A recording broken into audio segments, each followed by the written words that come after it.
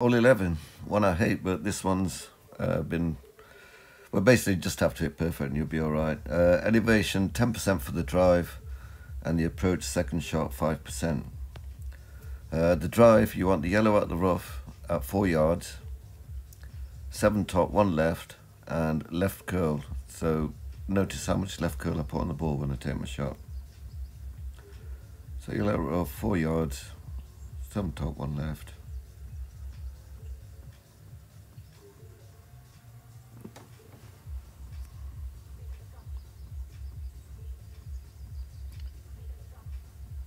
Adjust 10% max.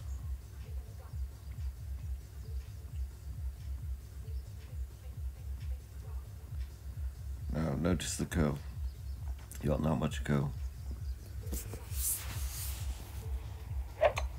Perfect shot.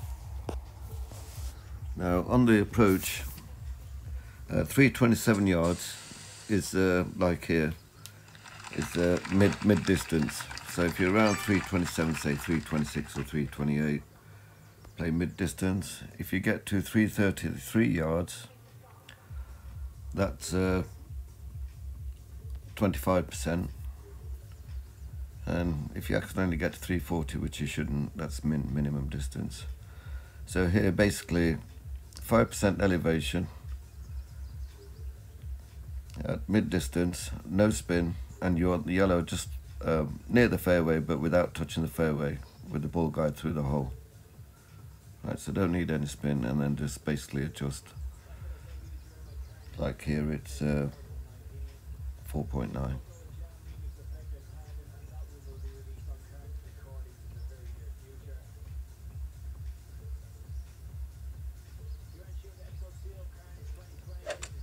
Perfect shot. Got this twice in practice as well. And uh, by the way, if you appreciate my videos, I'd appreciate if you subscribe to my channel. That's if you already haven't. Thank you.